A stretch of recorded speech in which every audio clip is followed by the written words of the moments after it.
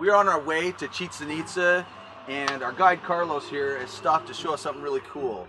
This is a Yucatan beehive. Carlos, explain this to us really quick. As you walk through the jungle, you can find trees with this tiny entrance. Yeah, well, we call to this type of bee Melipona bee in the Yucatan.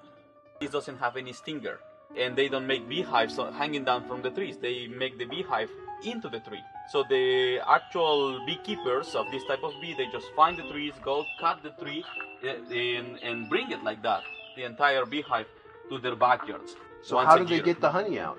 Uh, they just uh, lever them. Just pours right Yeah. out. Yes. See, look at that. That's amazing. Expand their their beehive um, is attacking you to your nose and ears. They find cavities. Oh, so you're Okay. And uh, traveling through the Yucatan, you can find it in, a, in every in, in any tree. Oh, they're they are, they, they're coming over. I'm gonna crawl in my ears Hey, and hey, my get back here, brain. get back here. Hey, hey, hey. oh, over here. Oh, they are, man. Why did I not my Zach's head was like Oh, they're in the back of mine. Yeah, dude. Oh, wow, they were in the back of my hair. Yeah.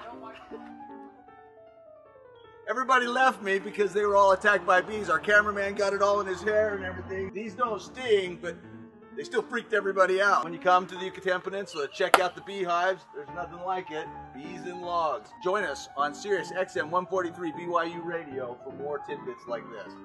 Hey, we're polishing off our bee pollen here, and Dave just reminded us all that it's full of bee vitamins.